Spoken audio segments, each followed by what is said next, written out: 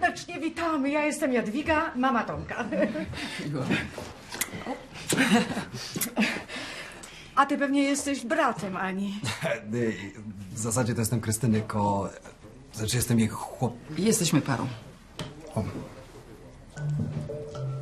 To ta pani ożeniła się ze swoim synem? No cóż, miasto się y, rządzi swoimi prawami. Zapraszam serdecznie. Proszę bardzo.